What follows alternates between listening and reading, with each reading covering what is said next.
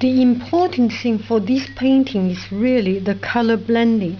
And you really need to make it very light and put a lot of water very transparent very transparent and uh, a lot of water. Very transparent and use a lot of white white color to make it really violet violet color. So it's chinese red and uh, it close to carmine but it's not really carmine color. Uh, chinese red color white color and indigo blue. So let me do it again. Now I have this coloring and I will do the flower. One two two big petal two big two big. How about some warmer color. Voila. Color change. Warmer. I have too much on this side so continue to put randomly here more here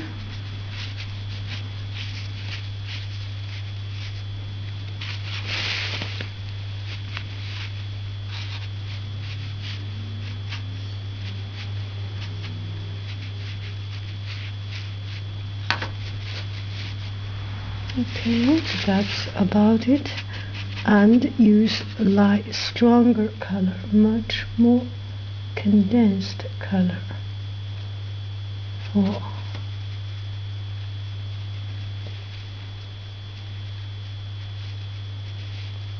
the two small petal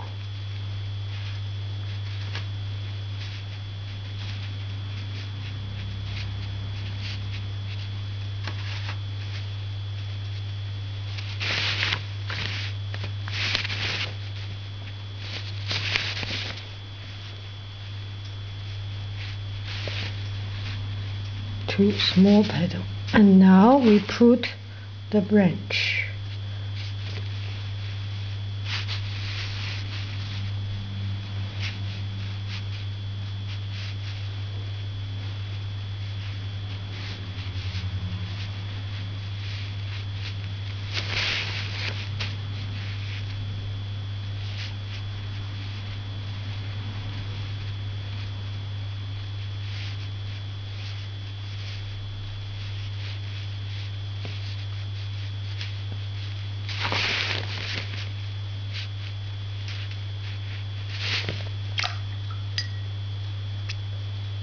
and some not totally opened but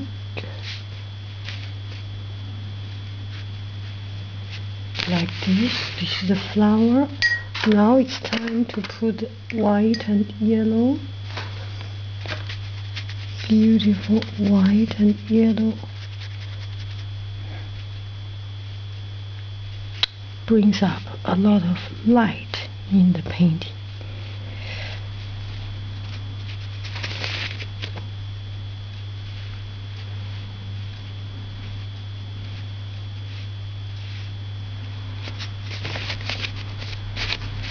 Do not need to be too much yellow and white. Now you can do some adjustment we still have room to put some more here